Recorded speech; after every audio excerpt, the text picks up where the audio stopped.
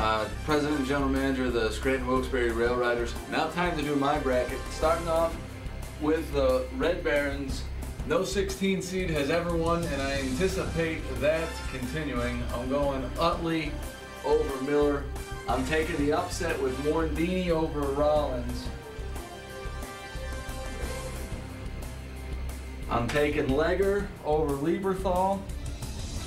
His numbers are tight. Taking Bobby. And the 215 matchup. Head on over to the other side of the bracket. I'm taking Howard. I'm taking local Andy Ashby. The 8-9 matchup gets me. I'm taking Shaw. For no real reason. Just think that's going to win. And then I'm taking Victorino. Over uh, Floyd Rayford. Stay on this side. I'm taking, this is where it gets me. I'm to take Howard over Ashby, Victorino uh, to come out after over Shaw, then to go back. This is a good one. I think I'm going Morandini over Utley.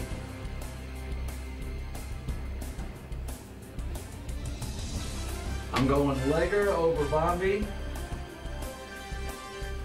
And then in my finals, I'm taking Greg Legg. His number's retired. To make, make it to the finals. And Victorino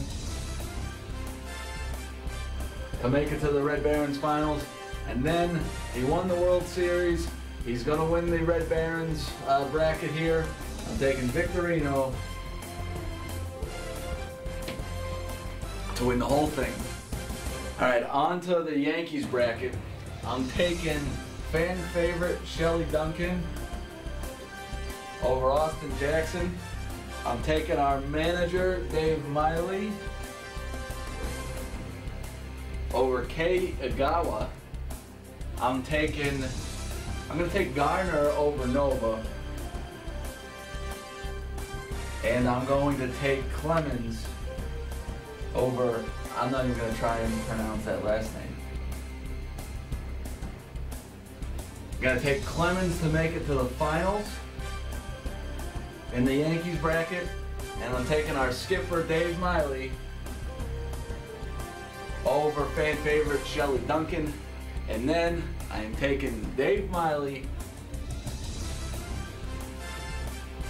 to win the whole SWB Yankees bracket. All right, time for the Rail Riders bracket. I have yet to take a one seed, but I'm going to say in the blowout of blowouts, Jeter over Betances. And then Granderson over Murph. He's the captain for a reason. There's no chance Jeter doesn't win the Rail Riders bracket. I got Jeter in a landslide. So Jeter, Jeter, Miley, and Victorino are my choices for your 25 year anniversary celebration.